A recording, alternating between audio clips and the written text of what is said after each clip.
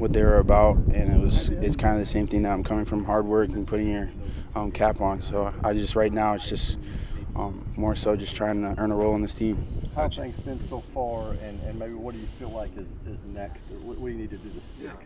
Um, I guess more so just getting used to that southern heat, but uh, for the most part, just getting in my playbook, um, understanding it's a it's a new playbook and a new system. So just being on top of everything and uh, getting in, whether it's the vets' ears or the or our coaches' ears.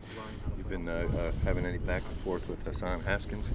Uh, you guys uh, got in here? More, more so, more so uh, Taylor, but uh, nah, that's all in college. Just, just the pros now. So, um, just really working towards the same, the same goal and the same thing, and um, we're one heartbeat right now. What does Taylor say to an Ohio State guy when he comes in? Oh, you know the, you know the usual, just talking rivalry and whatnot. All jokes aside, um, he's really awesome. He's a great vet.